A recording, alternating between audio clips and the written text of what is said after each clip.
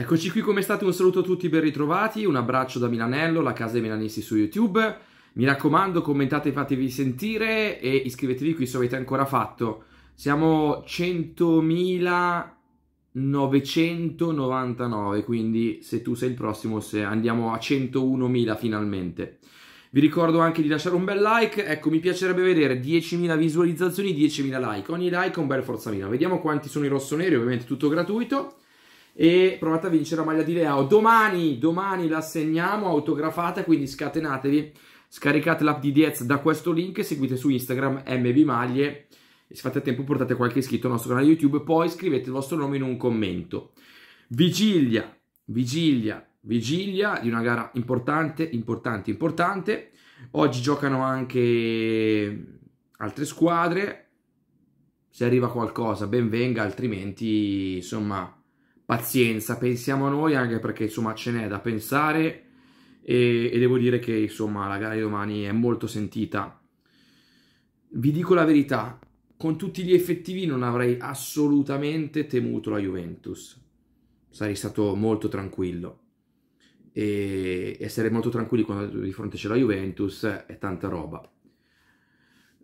Ora sicuramente con queste defezioni un po' di, di preoccupazione naturale c'è, non è paura, un po' di preoccupazione sperando di riuscire a essere ancora più forti nonostante queste assenze, anche loro ne hanno qualcuno ma hanno recuperato Chiesa che va in panchina e vediamo un po' insomma che cosa, che cosa emerge.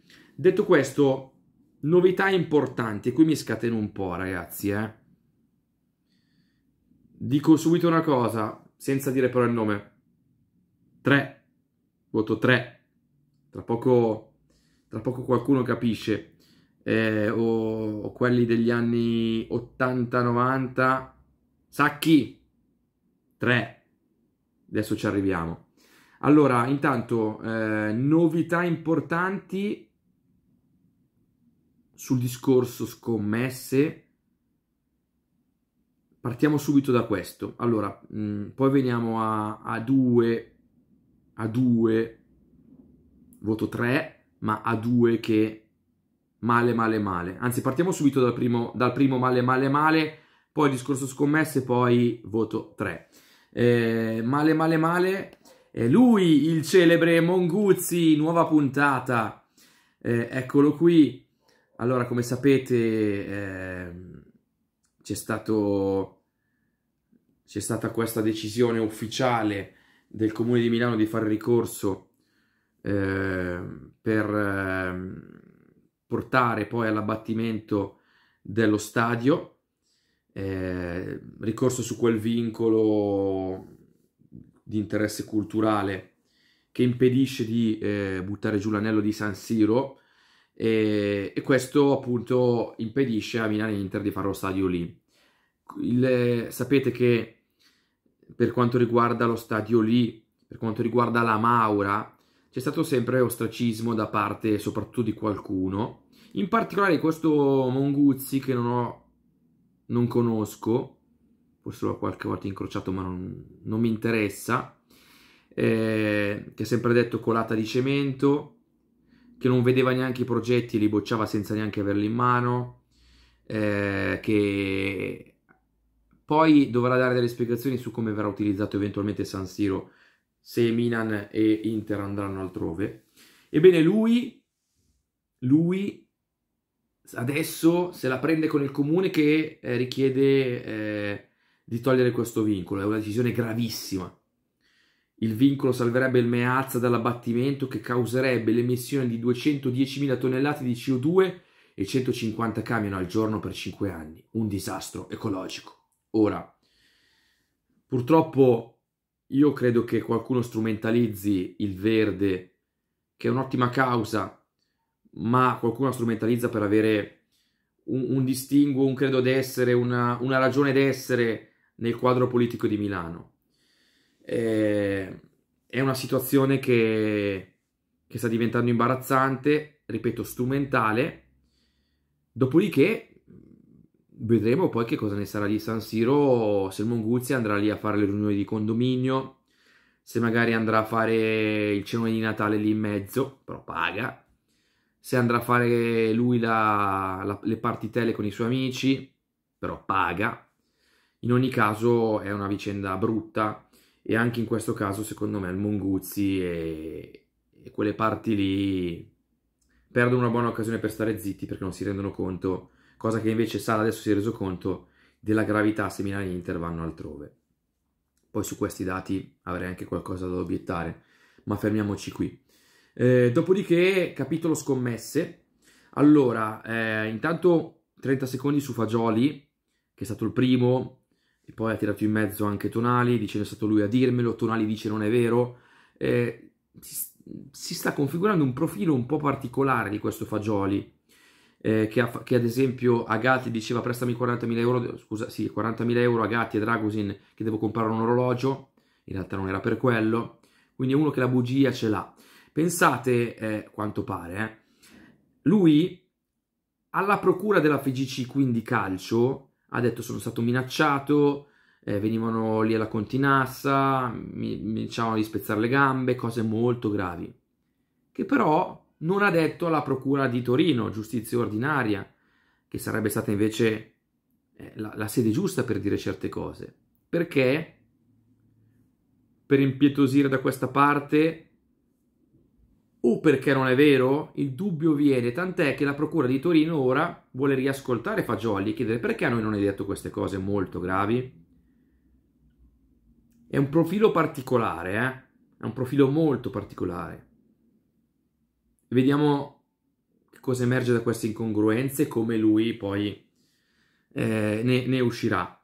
Ma l'aspetto intanto su Barella lo zio di Esposito, che ieri alla verità aveva detto sostanzialmente c'è anche lui, Barella poi eh, si arrabbia, minaccia le vie legali, lo zio di eh, Esposito, ex giocatore dell'Inter, la famosa fonte, dice mi sono sbagliato a nominare Barella, mi sono confuso perché in questi giorni è molto citato. Ora, una spiegazione questa abbastanza ridicola. Mi sono confuso, di fronte a una cosa del genere non ti puoi confondere, dici qualcosa che è di una gravità enorme, quindi non puoi dire poi mi sono confuso, scusate, mi sono sbagliato. Quindi vedremo come evolverà questa vicenda. In ogni caso, ecco, crediamo in questo momento, in assenza di elementi, a Barella e diciamo che certe cose che emergono da fonti, presunte fonti, sono scandalose. Poi vediamo l'evolversi della situazione. Ma la cosa importante è che dalla chat, dalle chat, dall'analisi di dispositivi elettronici, quindi smartphone e tablet, eh, di, dei soggetti coinvolti, quindi al momento Tonali, Fagioli, non so se anche dal, dal dispositivo di Zagnolo, escono nuovi nomi di giocatori che sapevano. E quindi questi giocatori che sapevano, se verificate questa loro eh, conoscenza, andranno a essere squalificati per almeno sei mesi per omessa denuncia. Quindi aspettiamo, vediamo, in quanto rossoneri ovviamente speriamo che nessuno dei nostri sapesse delle abitudini tonali, ecco. Quindi ovvio che oggi, essendo stati beccati con le mani nella marmellata fagioli e tonali, sono un po' più in apprensione i tifosi della Juve, del Milan, ma anche un po' anche delle altre squadre che hanno giocatori della nazionale che giocavano, che conoscevano appunto nella under piuttosto che nella nazionale maggiore, Tonali, Zagnolo eventualmente e lo stesso Fagioli. Quindi aspettiamo e speriamo. Dopodiché eh, ci siamo scatenati col Monguzzi, lo dico così in maniera colloquiale, sul discorso scommesse vediamo che cosa succede, però ragazzi un po' a malincuore mi sento di commentare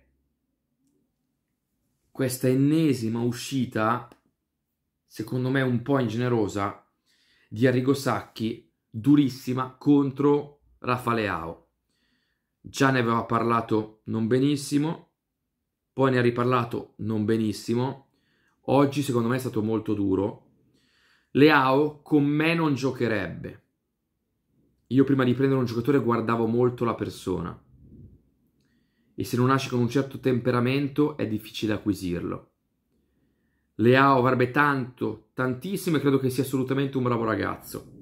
Nel calcio però si gioca in 11, tutti devono correre e avere una posizione sul campo.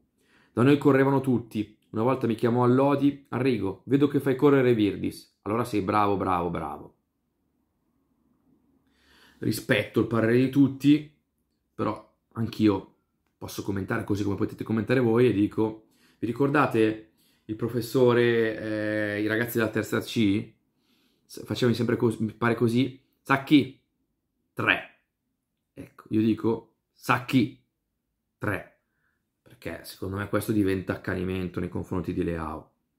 A parte che non sono emersi elementi nuovi rispetto all'ultima volta che l'aveva detto, qui è diventato ancora più duro. Poi con me non giocherebbe, ecco, non voglio mancare di rispetto a un'icona del Milan. Sacchi oggi non allenerebbe, Sacchi oggi non allena. Questa è la verità. Sacchi oggi commenta, ma non credo che ci sarebbe una squadra che oggi prenderebbe Sacchi. Il calcio è molto cambiato.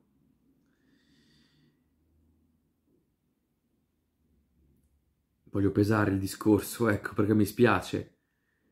Il calcio è molto cambiato e credo che il 100%, 100% di allenatori in circolazione ad altissimi livelli, uno come Leao lo vorrebbero. C'è uno che ti risolve la partita da solo, che è uno strappo incredibile. È uno che segna e fa segnare. Lo scorso anno fa doppia cifra di gol e di assist. Quindi è pure altruista. Per me è una risorsa di squadra. Se, se fai doppia cifra di assist significa che hai giocato per la squadra, ti sei messo a disposizione. Anche quest'anno ha fatto già diversi assist, oltre che gol. E l'ho visto rispetto agli anni scorsi a volte sacrificarsi un po' di più. Poi se chiedi di, troppo, di sacrificarsi troppo, arriva con la lingua di fuori e non ha più gli strappi che, che lo caratterizzano. Secondo me invece oggi nel calcio moderno sì che bisogna tutti collaborare, però ci sta che qualcuno sia magari un po' più esente da certi compiti, un po' più, non totalmente. E ripeto, io quest'anno nelle pagelle mi ricordo, spesso ho detto bravo, si è anche sacrificato, abbiamo visto cose che gli altri anni non faceva. Per questo mi sembra un attacco sinceramente generoso, gratuito, mi sembra che ci sia anche un po' di accanimento e, e niente, purtroppo Sacchi oggi non allenerebbe perché rappresenta ormai un'altra epoca gloriosa ma il calcio è evoluto e cambiato e, e giocatori come Leo fanno la fortuna del proprio club quindi cioè adesso se lui fosse nel Milan non giocherebbe Leao ma di che cosa stiamo parlando? metti Leao e poi metti tutti gli altri pur con le sue mancanze che ci sono. A 24 anni, secondo me un po' di margine ce l'ho ancora, può fare ancora lo step. Però anche qui eh, il temperamento, io quando lo vedo, non sempre, ecco, però quando lo vedo partire lo vedo il temperamento.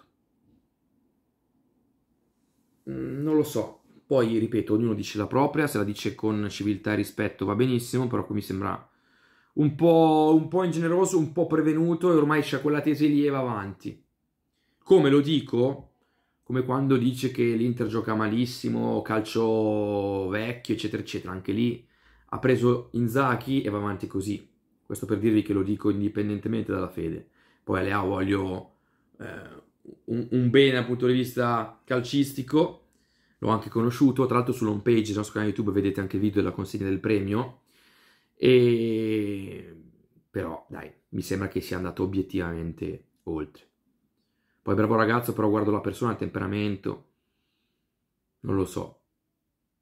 Che ne pensate? Scatenatevi con i commenti qui sotto e io, come a forum, dove tra l'altro c'era poi eh, Bracconieri che faceva Bruno Sacchi, se bisogna dare il sassolino io lo do un sassolone alla Faleao e non a Rigo Sacchi voto 3. Si scherza ovviamente, ma non troppo. Commentate, lasciate un like, iscrivetevi, ripeto, se vedete il video lasciate un bel like, vorrei vedere 10.000 like per 10.000 visualizzazioni o 20.000 per 20.000 visualizzazioni. Facciamo un record e ci vediamo più tardi. Vi rimando al video di questa mattina in cui abbiamo fatto un'inchiesta molto importante. Un abbraccio.